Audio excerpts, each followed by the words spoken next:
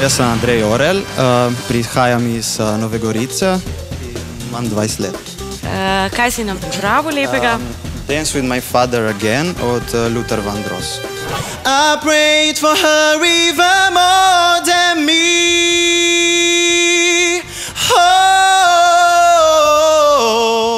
no. Mm.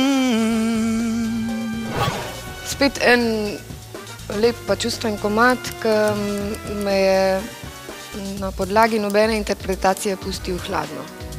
Ne najdem kiksa, ne, ne, ne najdem kiksa. Spreten pevec, ampak ne prav zanimiv.